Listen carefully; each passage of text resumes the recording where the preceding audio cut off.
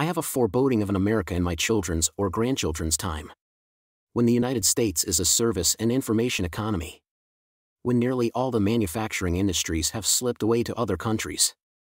When awesome technological powers are in the hands of a very few, and no one representing the public interest can even grasp the issues.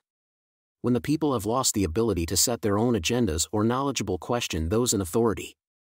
When, clutching our crystals and nervously consulting our horoscopes, our critical faculties in decline, unable to distinguish between what feels good and what's true. We slide, almost without noticing, back into superstition and darkness the dumbing down of America is most evident in the slow decay of substantive content in the enormously influential media. The 30 second sound bites, now down to 10 seconds or less. Lowest common denominator programming, credulous presentations on pseudoscience and superstition, but especially a kind of celebration of ignorance.